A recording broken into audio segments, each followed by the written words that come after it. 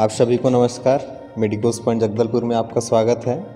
NEET 2024 परीक्षा का समय कुछ ही महीने बचे हुए हैं, जिसको लेकर स्टूडेंट्स की क्या तैयारी चल रही है इसे जानते हैं। इसके साथ इसके लिए मेरे साथ मेरा स्टूडेंट निखिल ठाकुर है। मैं उससे डेली रूटीन और फिर उनकी क्या तैयारी चल रही है, इसके बारे में मैं इनसे पूछता हूँ या जानकारी लेता हूँ। तो निखिल, आपकी नीट की तैयारी वो कैसे चल रही है आपकी?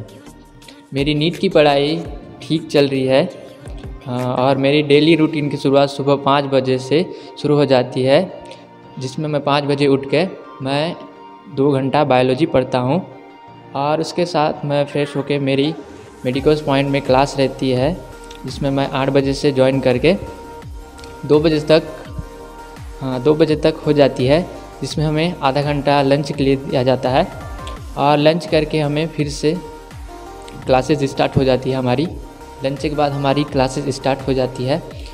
और उसके बाद हम ये, उसके बाद क्लास छूटने के बाद मैं थोड़ी देर रेस्ट कर लेता हूँ, जिसके बाद मैं सेल्फ स्टडी करता हूँ, जिसमें मैं कोचिंग में जितने भी पढ़ाया गया है, उसको मैं रिवाइज करता हूँ, जिसमें फिज़िक्स केमिस्ट्री और बायोलॉजी तीनों सब्जेक्ट आते हैं। फिज़िक्स और केमिस्ट्री को मैं दो दो घंटे देता हूँ।